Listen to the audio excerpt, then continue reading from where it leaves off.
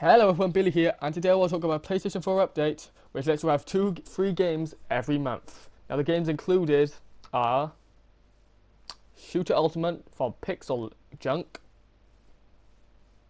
and Trine 2 The Complete Story.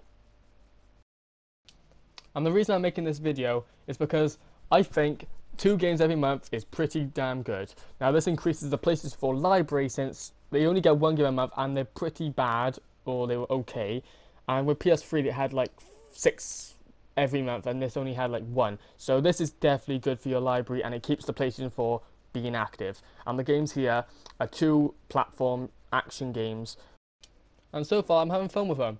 Like, I think Trine 2 is my favourite since look at the art style. This is a beautiful game.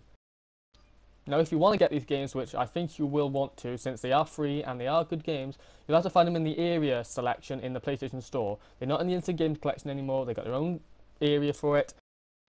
And the other game is um, from Pixel Junk, Shooter Ultimate, and I like that game as well, so that you use water and fire to make puzzles and you try and get and save spacemen. And I think this is quite cool, having two games every month. Tell you guys what you think about it, tell you what I want to see next. Thanks for watching, like and subscribe, and I'll see you online. Yeah.